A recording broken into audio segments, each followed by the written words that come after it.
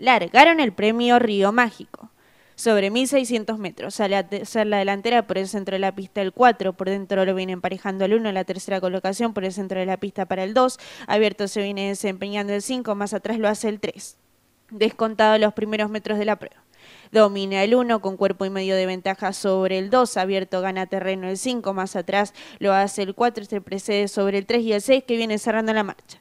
Las participantes pasan por el poste de marcatorio de los 1200 metros. Sin variantes, enseña en camino el 1 con cuerpo de ventaja sobre el 5, la tercera colocación por el centro de la pista para el 4, a cuerpo y medio lo hace el 3 por dentro el 2, sigue cerrando la marcha el 6. Las participantes ya están por el poste de marcatorio de los 800 metros. Continúa enseñando en camino el 1 con cuerpo de ventaja sobre el 5. Abierto viene ganando terreno el 3, la cuarta colocación para el 4. A cuerpo en medio lo hace el 2, más atrás el 6. Las participantes ya están en mitad de codo. Hay lucha la vanguardia, por dentro el 1, abierto el 5, más abierto el 3, luchan cabeza a cabeza, estas preceden sobre el 2, por dentro el 4, abierto el 6. Las participantes de la segunda carrera, Premio Río Mágico, vuelcan en codo hacia el ingreso a la recta final.